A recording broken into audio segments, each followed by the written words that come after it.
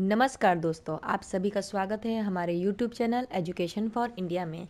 आज हम आप लोगों को हिंदी के बहुत ही सुप्रसिद्ध लेखक जिनका नाम है अज्ञे, उनके जीवनी के बारे में बताने जा रहे हैं। सबसे पहले हम आपको बता देते हैं कि अज्ञे जी का पूरा नाम क्या है? सचिदानंद हीरानंद वात्स्यायन। तो चलिए शुरू करते हैं अज्ञे जी की जीवनी।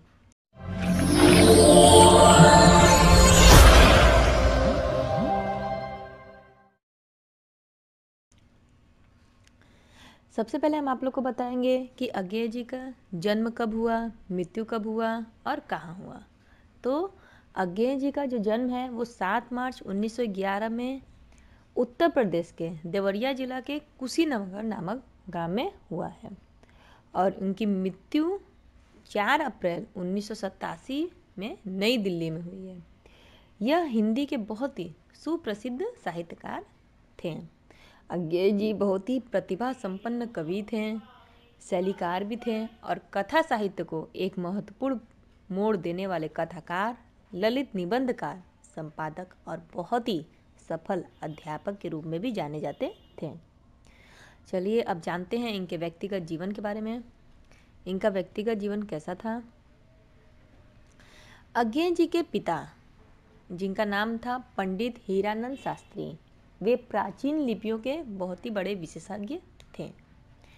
इनका बचपन इनके पिता के नौकरी के साथ कई स्थानों की परिक्रमा करते हुए बीता है। कुशीनगर में अज्ञे जी का जन्म 7 मार्च 1911 में हुआ था।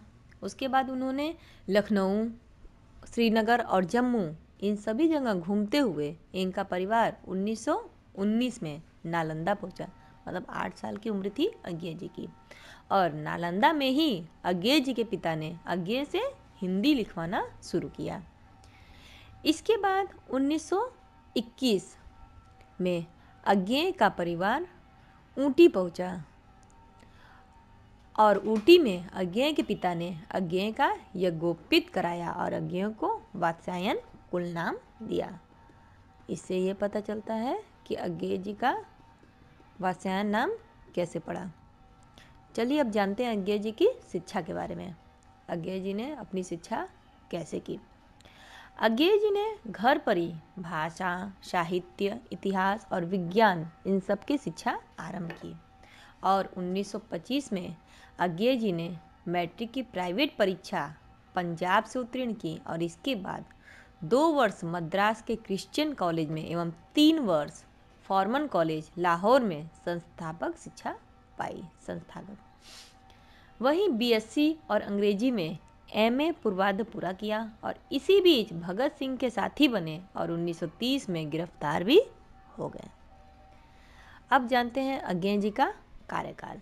उनका कार्यकाल में उन्होंने क्या क्या? किया अज्ञे ने छः वर्ष जेल और नज़रबंदी भोगने के बाद 1936 में कुछ दिनों तक आगरा के समाचार पत्र सैनिक के संपादक मंडल में रहे और बाद में उन्नीस सौ सैंतीस से उनतालीस में विशाल भारत के संपदा, संपादकीय विभाग में रहे। अब कुछ दिन ऑल इंडिया रेडियो में रहने के बाद अज्ञे ने उन्नीस में सैन्य सेवा में प्रविष्ट हो गए और 1946 में सैन्य सेवा से भी मुक्त होकर वह शुद्ध रूप से साहित्य में लग गए। मतलब मेरठ और उसके बाद इलाहाबाद और अंत में दिल्ली को उन्होंने अपना केंद्र बना लिया। चलिए, अब सप्तक। सप्तक क्या है अज्ञे जी की? इसके बारे में जानते हैं।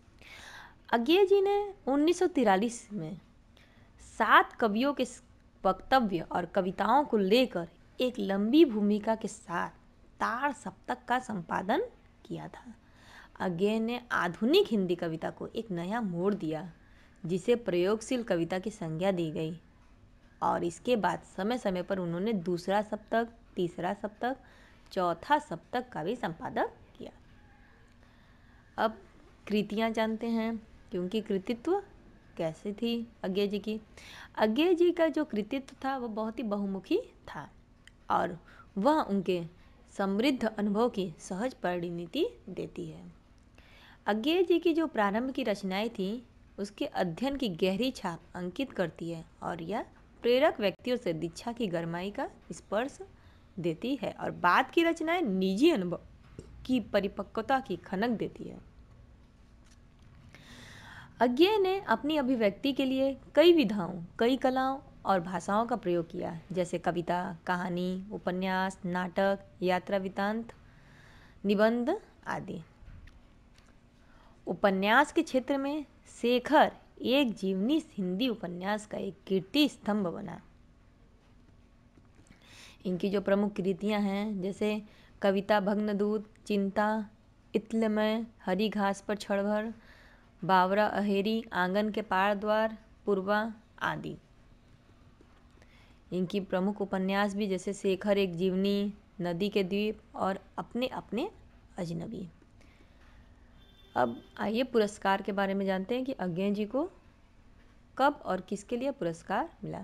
अज्ञे को भारत में भारतीय पुरस्कार, अंतर्राष्ट्रीय गोल्डन रीथ पुरस्कार, आदि के अतिरिक्त साहित्य अकादमी पुरस्कार, जो उन्नीस में, और ज्ञानपीठ पुरस्कार, उन्नीस सौ अठहत्तर में सम्मानित किया गया था।